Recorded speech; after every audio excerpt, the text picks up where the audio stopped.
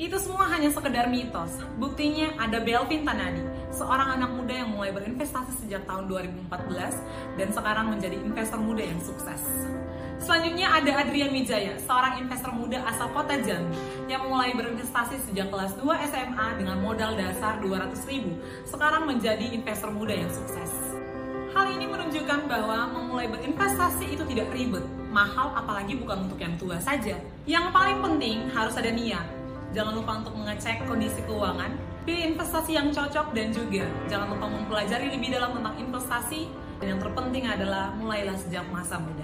Karena dengan mulai berinvestasi, kita dapat menciptakan sumber keuangan yang baru dan tentunya kita membuat uang bekerja untuk kita dan bukan sebaliknya. yang paling penting pada masa tua kita punya penghasilan sendiri.